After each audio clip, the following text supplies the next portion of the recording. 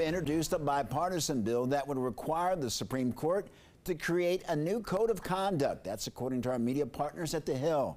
And welcome back to Capitol Review. It comes after ProPublica revealed that Justice Clarence Thomas failed to disclose luxury tips he accepted.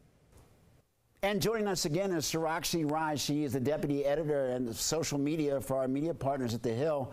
And Sarakshi, let's talk about this new code of conduct. What are your thoughts? You know, two senators, Senators Angus King and Lisa Murkowski, have introduced a new bipartisan bill that will require the Supreme Court to create a new code of conduct for itself after a ProPublica report revealed that the conservative Justice Clarence Thomas failed to disclose luxury trips that he accepted from Texas billionaire Harlan Crow. You know, it has been the talk of the town uh, since this report came out, and this bill would require uh, the Supreme Court to implement a new code of conduct within one year of its enactment into law and publish its code on its website so it's available to the public. Uh, notably, you know, the Chief Justice John Roberts declined an invitation to testify before lawmakers about these concerns regarding uh, a lack of an ethics code of conduct for the Supreme Court justices. You know, instead, uh, the Chief Justice released a statement on ethics and principles and practices signed by all nine justices, which notes that they consult uh, a code for the lower courts right now. So it is a topic of conversation, and um, there's a lot of debates on this right now. You, you, talked about the Chief Justice declining to testify. Does, does anything already exist for the Supreme Court as, as far as a, a code of conduct or an expectation? Well, there's no binding code of conduct, but their statement says that they consult various authorities to decide at their ethical dilemmas, uh, including a code in place for lower judges. You know, though watchdog groups, you know, argue that it's basically meaningless right now, um, and you know, both Democrats and judicial watchdog groups are saying that it's past time for the court to adopt a binding code of ethics. Do you think it is important for the court, the highest court? To have some sort of a code of conduct in place moving forward?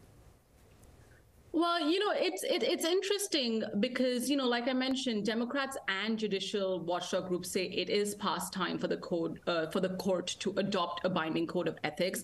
Uh, they argue that the Supreme Court is at least a, the least accountable part of the federal government right now.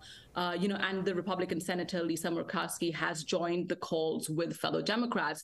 But a lot of the Republicans in the in the Republican Party are portraying this as a push uh, you know, to smear the court's conservative majority. Uh, Senator Mitch McConnell on the Senate floor this week said that um, the, the statement by all nine justices kind of explained their joint approach to maintaining their high ethical standards.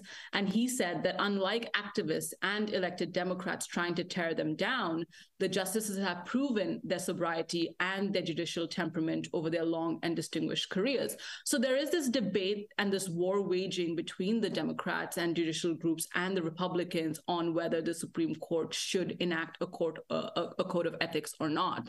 Um, you know, right now, the Supreme Court justices, like other federal justices are subjected to um, a federal recusal statute, which requires disqualification uh, where uh, their impartiality might be reasonably questioned. But, you know, the, the, justices and the chief justice have said that they cannot be bound by the, all of the rules that apply to the lower court because of the unique role that the Constitution assigns uh, you know, to the Supreme Court as the ultimate decision maker in the nation's judiciary. So it is a complicated uh, debate that's going on right now. Sarakshi Rai, thank you so very much for your time.